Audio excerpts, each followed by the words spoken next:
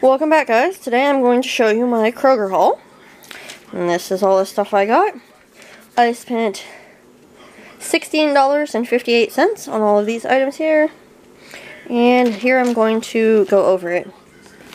I bought three of these Hostess Cinnamon Streusel Coffee Cakes.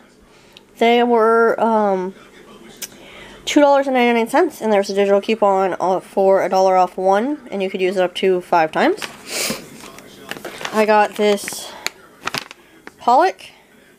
It's a 12 ounce pack and they are on sale for $1.99 at my store and then there was a dollar off one coupon and you could use it up to five times and that made these 99 cents a piece for 12 ounces of Pollock.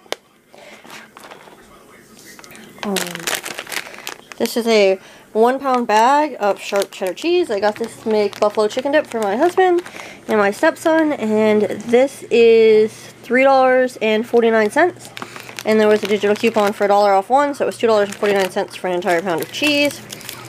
This is the Oreo chocolate candy cookie bar. And it was the free Friday download last week, so that was free. my daughter picked up this cookie cutter. Obviously it's from Christmas and it was 19 cents.